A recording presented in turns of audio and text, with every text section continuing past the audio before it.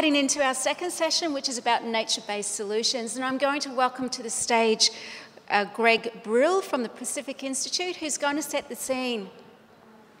Oh, he's online, yes, he's joining. Yeah, oh, it's pre-recorded. These multi-benefit green Okay. solutions Thank often you. come with a lower price tag than investing in traditional engineered or grey solutions, and oftentimes have higher returns on investment based and because of the stacked benefits that come with these solutions. And the benefits keep on coming, increasing with time and the spatial extent across which these nature-based solutions are implemented. Nature-based solutions can be implemented almost anywhere. So whether you're wanting to reduce erosion and flood risks in a grassland, sequester carbon and improve air quality by planting forests, improve water quality and quantity, as well as bringing back the birds, the bees, and the beasts using wetlands, limit storm surges and reduce coastal flooding or mitigate sea level rise using mangroves, or renature a city to reduce urban heat islands and capture stormwater. Whatever challenge you want to address, and wherever you want to address this, nature-based solutions can provide a helping hand. By 2050, almost 70% of the world's population will live in cities. This means that we had better get down to business in solving many of the issues that come with living in cities, including addressing localized flooding due to the amount of hard surfaces, reducing heat island effects, and improving air, soil, and water quality for both nature and humans living in these urban environments.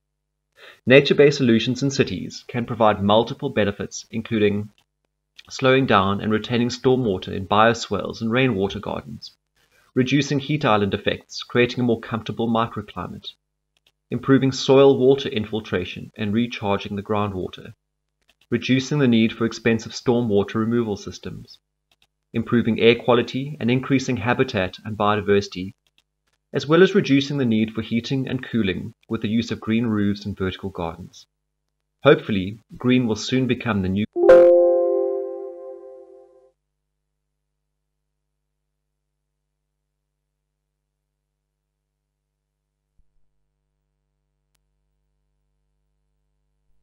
grey when it comes to designing, building, and retrofitting cities. Nature-based solutions also work outside of cities. Instead of building another dam in a sensitive watershed to increase long-term water resilience, rather consider restoring, managing, and protecting wetlands and rivers which store, treat, and transport water far more efficiently and effectively.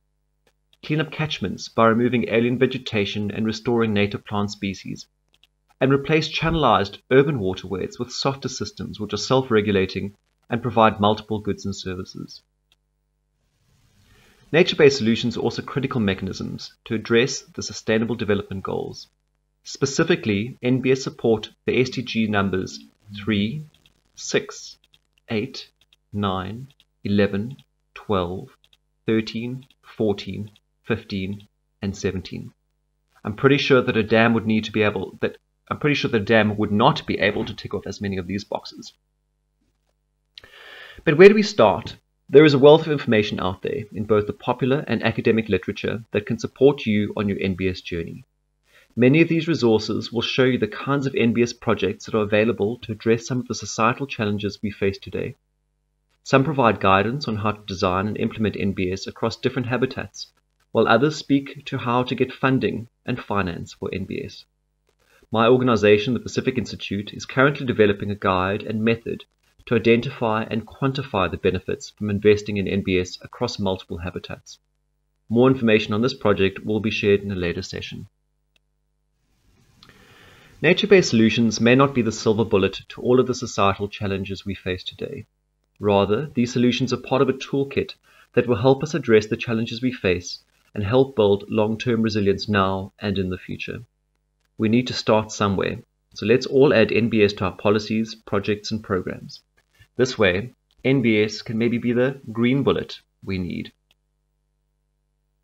Thank you.